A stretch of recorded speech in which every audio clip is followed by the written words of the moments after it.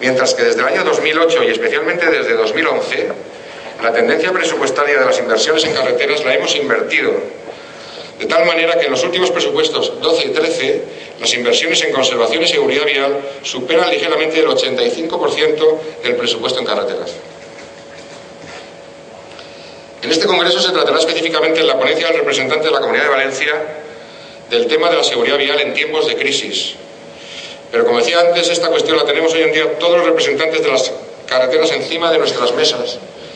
Y quizás sería bueno que en foros como este congreso o en otros similares que promueve la Asociación Española de la Carretera, pudiéramos todas las administraciones poder consensuar unos parámetros comunes, similares en función de las características de cada red que permita establecer criterios homogéneos de inversión en conservación y seguridad vial, superando las oscilaciones de los ciclos económicos y superando incluso el, concepto no, no sencillo del 2% del valor patrimonial de la red que actualmente utilizamos como criterio para valorar el gasto de conservación. Desde el inicio de los planes de seguridad vial de la comunidad autónoma se han identificado y tratado 66 TCAs que, han registrado, eh, que se han registrado en el periodo 92-12, con 1.028 accidentes y 95 víctimas mortales. Ello representa la tercera parte del número de accidentes con víctimas y casi el 40% de las víctimas mortales. Sin embargo, en los últimos años, al menos en nuestra red, los, TCAs, que hasta, hasta finales de la pasada década tuvieron una participación decisiva en la accidentalidad, cuya mejora contribuyó a reducir notablemente el número de accidentes con víctimas, han pasado a ser residuales o poco, o poco significativos. El trienio 2010-2012 solo ha habido una víctima mortal en el conjunto de los 66 TCAs. Y en el año 2012 solo ha podido identificarse un TCA con unos criterios rebajados, que ya que solo se han registrado heridos leves. Por ello, sin abandonar el concepto de TCA, que siempre debe estar presente, entiendo, en nuestros, en nuestros planes y tratarlos, por supuesto, resulta de especial interés en la gestión de la seguridad vial en nuestras carreteras el concepto de tramo de alto potencial de mejora de la seguridad, definido como tramo completo de carretera con un alto potencial de ahorro de los costes originados por los accidentes, en el que se espera que una mejora de la infraestructura sea altamente efectiva, que supera el concepto tradicional de PCA. Nosotros trabajamos desde el año 2008 en la identificación de tramos o de tipos de tramos de los que se esperan importantes reducciones de costes derivados de la accidentalidad, de este concepto europeo, en la línea con, con esta nueva tendencia. Por otra parte, del tratamiento estadístico de la accidentalidad, se han observado varios bloques de tramos singulares de cuyo tratamiento se espera reducir en un porcentaje significativo el número de accidentes y de víctimas. El primer bloque de tramos singulares que empezó a tratarse es el de las travesías, tratamiento que puede asimilarse casi perfectamente o ser un antecedente de las inspecciones de seguridad vial que regula esta directiva y que el representante de Cataluña ahora nos explicará con mucho más detalle. En concreto, nosotros, en las travesías de la, las travesías de la red autonómica son 187. Representan algo menos del 10% de la longitud total y sin embargo tienen una circulación que supera el 20% del total.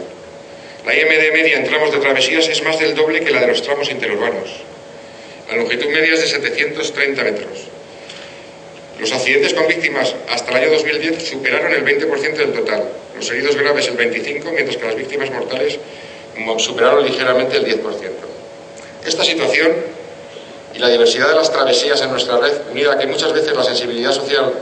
ante los accidentes de tráfico en zonas urbanas se percibe de una manera singular y mucho más intensa, como todos vosotros sabéis,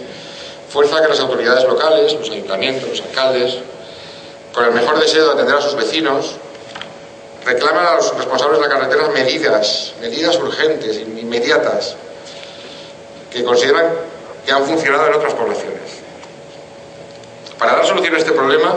se realizó un catálogo completo de todas las travesías, incluyendo los datos de accidentalidad año por año desde el año 92, con indicación de los accidentes con víctimas y punto kilométrico, clase de víctima, víctimas singulares, peatón, ciclista, motorista, ciclomotorista, datos de la travesía, IMD, población, número de calles y estimación del porcentaje de población y centros de actividad que quedan, etc.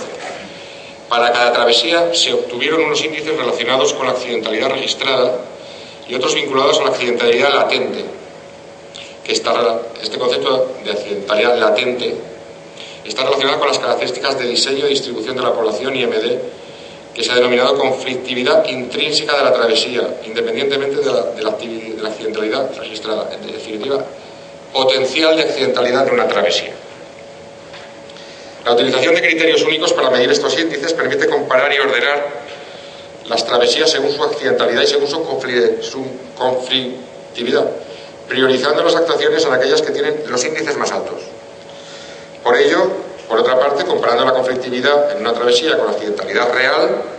pueden extraerse conclusiones válidas para llevar a cabo las actuaciones adecuadas. Por ejemplo, una travesía con un índice de actividad alto o de conflictividad alto y una accidentalidad baja estará señalando elementos favorables que hacen que en numerosas ocasiones el conflicto no, no termine en accidente. Esto puede permitir implantar elementos favorables en otra travesía de similar conflictividad y mayor accidentalidad. Esta identificación y ordenación de las travesías que, les acabo de exponer, que hemos trabajado en la casa, atendiendo a criterios objetivos y homogéneos de peligrosidad, ha permitido llevar a cabo más de 40 actuaciones en travesías con resultados muy favorables. Y como digo, puede ser un antecedente o es perfectamente asimilable a lo que son a lo que la directiva pretende con las inspecciones de seguridad. Por otra parte, la accidentalidad de las carreteras de la red autonómica ha descendido de una manera muy notable, especialmente en los últimos tres años. Únicamente indicarles que la política de mejora de la seguridad vial de las carreteras regionales de nuestro gobierno y de nuestra consejería se centra en cinco pilares.